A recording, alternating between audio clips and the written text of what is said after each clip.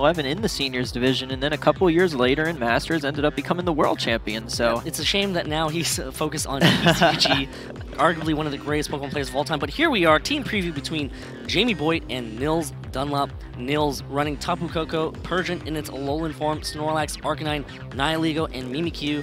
Jamie on the left with Pheromosa, Porygon Z, Smeargle, Snorlax, Circuitry, and Tapu Lele. There's that Smeargle and Porygon Z that had some success in the international championships. Yeah, it's such an annoying team to see uh, because you have you know multiple setup potential that Circuitry could have Tail Glow, the Porygon Z could have uh, the Z conversion, Snorlax could have either Curse or Belly Drum. Uh, Smeargle, of course, supports that very well. And then you have Tapu Lele and Pheromosa, both very fast, very powerful Pokemon. So you really have to lead carefully against those six Pokemon from Jamie. And then on Nils' side, he's definitely got a Trick Room mode. You see Mimikyu most likely is going to have Trick Room, maybe a Psych Up. Nihilego also, you know, you will see it carry Trick Room a decent number of times. Uh, and then you even have some support, the Intimidate from Arcanine, the Fake Out from Persian, Parting Shot from Persian, all of that ends up helping the Snorlax set up and seeing how much support is given to this Snorlax, you have to imagine it might be a belly drum set. Yeah, uh, that is one of the more popular sets. Uh, Nils actually in the international championships used a Scarf Nihilego, you know, one of those variants that we saw yesterday uh, towards the later half of the day as both players extend their hands for the handshake. Great sportsmanship exhibited by both players. Uh, yeah, he used that, you know, the acid spray combo to start hitting things with very powerful electric type attacks with that Tapu Koko. So I wonder if he's changed it up, maybe trying to fake some people out just like that Persian that he has. uh, so we'll just have to watch how this plays out between these two amazing players from Europe. Here we go. Smeargle and Tapu Lele are the leads that Jamie decides to go with, while Nils on the other side leading with Mimikyu and Tapu Koko. The Electric Surge is going to go ahead and activate, signifying that that Tapu Koko is going to be much, much faster than that Tapu Lele. Now bringing out its Psychic Surge. It is actually going to be a Psychic Seed Tapu Lele. Wow. So that's going to go ahead and make it a bit harder to knock out from that Tapu Koko. Yeah, very interesting, though. Mimikyu is one of those Pokemon that can be trained to outspeed Tapu Lele and pick up the one-hit KO if it has something like a Ghostium Z. Um, but Smeargle, of course, can easily just follow me and redirect any attacks. It has a number of support options. Tapu Koko, though, will be faster than both. Uh, the electric terrain isn't up, so, I mean, it's going to deal negligible damage to Tapu Lele. Uh, Smeargle also can put Pokemon to sleep if it wants, since electric terrain isn't up. Uh, so it'll be really interesting to see how this turn plays out, but I have to like Jamie's position here. Yeah, a lot of players, they actually use Smeargle for fake out support, but, you know, seeing that he led it with the Tapu Lele, I believe that maybe the Smeargle doesn't have to rely on fake out support in order for it to function properly. Yeah, it's not going to go for a fake out this turn. Who knows if it even has fake out, considering he's got the Tapu Lele. Tapu Koko now going for a Volt Switch, hitting into that Smeargle slot. Now Tapu Koko going to retreat back to Nils' bench, and Nils can react. No switches happen, so maybe now Nils is just trying to find better board position against this Smeargle and this Tapu Lele.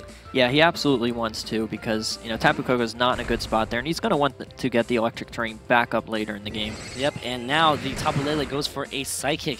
To hit that Snorlax, doing about 40%. Smeargle, of course, thanks to the Psychic terrain, is going to be able to go for a Spore and put that Mimikyu to sleep. Mimikyu will not be able to move just yet, but it does take its first turn of sleep. Yep, which is good, so it's going to have a chance to wake up. But here's Moody. Nope, an accuracy boost. Uh, not going to matter too much now that Dark Void is no longer in the format and a special defense drop, but Smeargle is at such low health, it's not going to matter. Yeah, not a very uh, relevant Moody boost or drop that turn, but you see exactly why uh, you do want to retreat the Tapu Koko to bring in later because, you know, the Psychic Terrain right now, it's not only powering up Tapu Lele's attacks, but it's also allowing Smeargle to put Pokemon to sleep. So Tapu Koko coming in uh, potentially this next turn or even in a future turn, allowing Snorlax to take less damage from Psychic and not be at risk of getting put to sleep. Certainly an option for Nils. All right, moving now into the next turn. Tapu Lele is going to retreat, coming back, and Jamie is going to replace it with his own Snorlax here. Uh, really strong matchup here between two Snorlaxes. Battle of the Titans. Uh, Tapu Koko is going to replace the sleeping Mimikyu after it has already taken its first turn of sleep, and you know try to prevent uh, more Pokemon from being put to sleep thanks to that electric terrain. And it does. Great call right there from Nils to you know kind of electrify the battlefield, wake everything up. Uh, Snorlax now on Nils' side goes for a return and hits, oh sorry, a frustration into the Snorlax over there as the Moody boosts are going to be irrelevant on Jamie's Smeargle. Yeah, but Tapu Koko's uh, going to be faster than Smeargle and able to pick up the knockout. uh, Snorlaxes are both facing off against each other, so it's going to depend entirely on what the speed of each is, and as well as what their setup move of choice is. Uh, but right now, Tapu Koko's in a good spot, considering it has its terrain up. We saw it block that Spore, uh, which is key, but it looks like Jamie switched out that Tapu Lele. You know, you get rid of the special defense boost, but it allows you to get your Psychic Terrain up later. Yeah, and that might be important later on. We always talk about those terrain wars. Tapu Koko now uh, using Volt Switch here, going to hit that Smeargle and pick up the KO. So Nils removing a pretty big threat. You know, Smeargle, you never want to have your entire team put to sleep. Yeah, that's a and, great turn too because yeah. it lets him put Tapu Koko back in the uh, put it in the back so that should Tapu Lele come in, you can reset terrain again. Yep, and uh, Nihilego is going to replace the Tapu Koko as Nils' Snorlax, finding this turn to use its Belly Drum attack and maximize its attack stat at the cost of half of its hit points. Of course, that combo that combo is really well with the Gluttony ability. As Snorlax oh. goes for a high, oh, goes for a high horsepower, hits that Nihilego and picks up the KO. So right there, Nils forces switch in that Nihilego, but unfortunately, uh, pays the price. Yeah, but he does get his Snorlax set up with the belly drum, and we saw that his Snorlax was either faster or won a speed tie, so that is going to be good in the Snorlax mirror match. But unfortunately, you lose that Nihilego so fast. You know, it didn't have a Focus Sash there, so that does kind of give you a hint on its item. It is either the 50% Healing Berry uh, going for a full Trick Room set, or it's a Choice Scarf set. Yeah, absolutely. And, you know, it is kind of scary now staring down the fully powered Snorlax on the other side because you had to figure out a way to deal with it before it can do too much damage to your side of the field. The sleeping Mimikyu now oh, comes. Oh, that's a pretty good counter. That's that is a pretty a good great counter. answer to that Snorlax. Yep, so now uh, the Pheromosa hits the field for Jamie. That is going to be threatening that Snorlax very well. One of the downsides to that Belly Drum variant, it doesn't get any sort of defense boosts. Unless you use Stockpile. Yeah, we do see that sometimes where Snorlaxes do opt for both Stockpile and Belly Drum, but usually not too common. What'll be interesting to see if the Snorlax has Protect in order to, you know, keep it safe another turn. Hope Mimikyu wakes up and is able to get an attack off. And, you know, if Pheromosa even has high jump kick, and there is the Protect. Snorlax using Protect here. Gonna try to protect itself as Pheromosa goes for oh, high that could be but, big. Yep, that's 50% of its health done right now because it does not make contact with anything oh. As Mimikyu continues to stay asleep, Snorlax now is going to be able to move on Jamie's side, and that's just going to go for a belly drum as well. So here we are with two Snorlaxes, uh, powerhouses of this format now set up with belly drums as Snorlax goes ahead and munches away on its berry to heal back 50% in a pinch, but thanks to that gluttony ability, well, Snorlax might get a little hungry just a little bit sooner.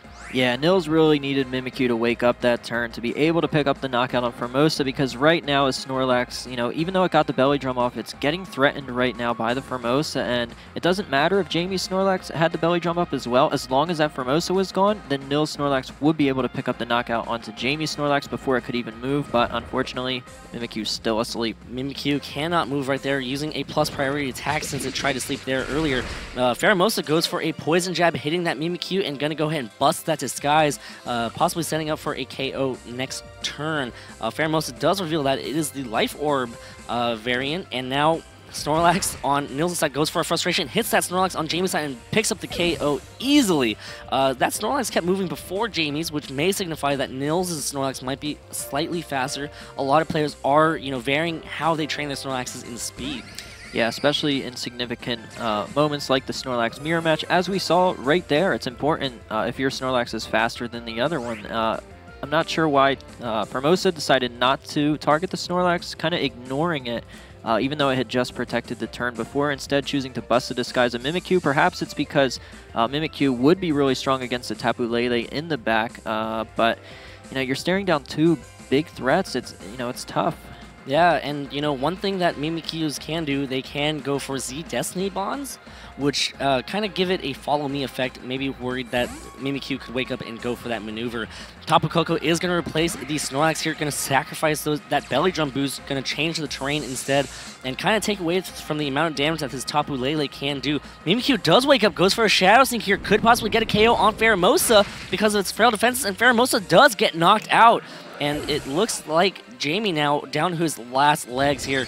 Uh, Jamie's Tapu Lele goes for a Psychic, and again, even with that Psychic terrain, that was not going to KO uh, that Mimikyu at all. Yeah, that was not a whole lot of damage done to Mimikyu, less than half, but a great play bringing Tapu Koko in there. You knew Mimikyu was going to wake up that turn, and Shadow Sneak would easily take out half of uh, Pheromosa's remaining HP because of just how frail it is, so great play there by Nils, and he's going to take game number one. Yeah, and now, yep, Jamie just forfeits it and decides to move on to the next game.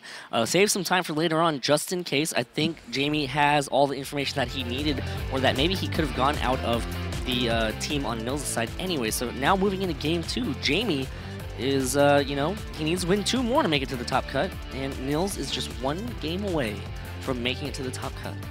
Yep, so uh, for adjustments, I'm not sure if Nils needs to make a whole lot of adjustments. I mean, his team played very straightforwardly. He played great. I mean, even though he lost his Nihilego so easily, it ended up not mattering at all. So uh, if I'm Nils, I feel very confident in what I did last game, and I'm just going to continue to do that until Jamie proves that you know he's able to take down my you know my Snorlax and all of the support I have for it. Uh, but if I'm Jamie, I definitely look to make a little bit of an, an, adjustment or at least play a little bit differently, knowing how important that Tapu Koko is. Not only is it allowing Mimikyu to get Shadow Sneaks off uh, when you feel that you're safe because you have the Psychic Terrain up, or you feel that your Smeargle can go for a Spore safely because you have Psychic Terrain up. You know, suddenly Tapu Koko comes in and then you're able to Shadow Sneak. You're protected from falling asleep. Uh, so I think if I'm Jamie, I'm just looking to manage the terrains a little bit differently this game. Uh, but otherwise, you know, he's definitely got the power on his team to succeed that Pheromosa. We saw just how big of a threat it is. You know that the opposing Snorlax now has Protect, so you can manage when to go for the high jump kick a little bit better. Uh, but other than that, you know, Jamie's definitely got the type of team that's able to know, defeat Nils' team if he's able to not only lead correctly, but play correctly throughout the match. Yeah, I'd also like to go back and correct myself. Uh, Koko coming in in the previous game, you know, took away the Psychic Terrain, allowed Mimikyu to uh, go for that Shadow Sneak. So, yeah, thank you for catching that, Ray. I appreciate your wisdom up here. you know, in the in the heat of the action, a lot of things can get by you, right? Yeah, absolutely. Even some players, even in, while they're playing important matches, can sometimes forget Lightning Rod or even terrains. But, uh, you know, Nils, he's proven why he's done so well. You know, he thinks about every single option. He thinks about every single move. He thinks about every single outcome. Yeah, absolutely. All right, now getting ready to jump into game two between these two players from Europe, two of the best players from Europe. Both these players actually got uh, free trips into day two, I believe. Didn't have to go through the gauntlet of going through day one. So uh, here they are proving their worth. And you can actually see the Cottonee uh, charm that, that Jamie has. So, you know, Cottonee is a Pokemon that holds a special place in his heart because it won him a regional. All right, here we go. Tapu Koko going to go ahead and be sent out along with Mimikyu, going to activate the electric terrain. Pheromosa and Snorlax are the leads that Jamie decides to go with, changing it up completely in terms of the leads here on Jamie's side. Yeah, which is really interesting because Pheromosa is going to threaten this Tapu Koko, and it is going to move before it. However, Mimikyu, we know, is going to also threaten the Pheromosa, so you know, it's a tough decision here for Jamie what he wants to do. Does he want to go after the Tapu Koko, or does he want to conserve his Pheromosa more against the Mimikyu? Uh, there's no way Mimikyu goes for a Trick Room knowing that Jamie's Snorlax is going to outspeed Nils Snorlax under Trick Room, so I doubt this Mimikyu goes for a Trick Room, even staring down the Pheromosa. However, you know, targeting that Pheromosa slot with something like a Play Rough would, you know, do a lot of damage to it and kind of protect the Tapu Koko if you want to keep Tapu Koko in this turn. Pheromosa now protecting itself, not wanting to possibly get uh, a lot of damage dealt to it with a possible Shadow Sneak or even a uh, physical attack like that Play Rough right there into that Pheromosa Protect. So great Protect right there. as Snorlax just going straight up for that Belly Drum. I respect that. yeah, that's going to get Snorlax set up instantly, and right now it's not really fearing a whole lot of damage, especially from the Mimikyu. Tapu Koko, though, can definitely deal some damage under the electric terrain, but Jamie's probably got his Tapu Lele in the back to reduce the damage done to his Snorlax, so if he does have that in the back, you have to imagine Pheromosa will switch out for the Tapu Lele, and Snorlax right now, I mean, the only thing you're scared of if you're Jamie is if that Mimikyu has something like a Psych Up. Yeah, that is something that is possible. A lot of these Mimikyus do, uh, you know, since Nils' Snorlax on the other side does also have Belly Drum, you know, it's yeah, not yeah, it's uncommon to see Mimikyus uh, just try to copy those boosts, and that is something that you have to worry about. Uh, so we'll see how this plays out. Uh, it does Nils have Psych Up, and is he going to go for it? Porygon Z is going to be Pokemon that switches in. Not exactly the duo that you expect to see, Porygon Z with Snorlax. Nihilego is going to replace the Tapu Koko, which uh, kind of happened last time, and that didn't do well as Mimikyu Oh, does go for a is a here. Uh, this is this is slightly dangerous here as Snorlax goes for a frustration frus- frustration hitting that Nihilego and easily picks up the KO, but now this Mimikyu is all set up. So, boy, this is going to be interesting considering that Mimikyu is actually moving pretty fast. Yeah, Nihilego again does absolutely nothing for Nils. Just gets switched in and KO'd instantly. Um, you know, he didn't want to go for the Volt Switch there because he was fearing Pheromosa just staying in and going for an attack. So rather than Volt Switch out to get a little bit of damage onto Snorlax while switching at the same time, decides to just switch in the Nihilego as a sacrifice. Unfortunately, it buys him a little bit of time to get the Psych up onto Mimikyu, but that's about it because he traded Nihilego for that. So let's see if Mimikyu can pull this off. And here comes a Gigavolt Havoc, it looks like coming from Nils' Tapu Koko. This is going to be targeting down a Pokemon over on Jamie's side. It will be doing a good amount of damage considering it's in the electric terrain. Here it is, the Gigavolt Havoc going to go ahead and target down the Porygon Z. That's going to do massive damage. I don't think Porygon Z can even hang on as that is an easy one-hit KO. Porygon Z really just switching in and not doing much else as Mimikyu goes for a play rough. In that Snorlax plus six, Snorlax cannot even hang on, so Nils' team is slightly picking apart Jamie's team here. Yeah, and Mimikyu still has its disguise intact. It's going to be extremely difficult for Jamie to deal with that at this point, especially since Nils still has a Pokemon in the back.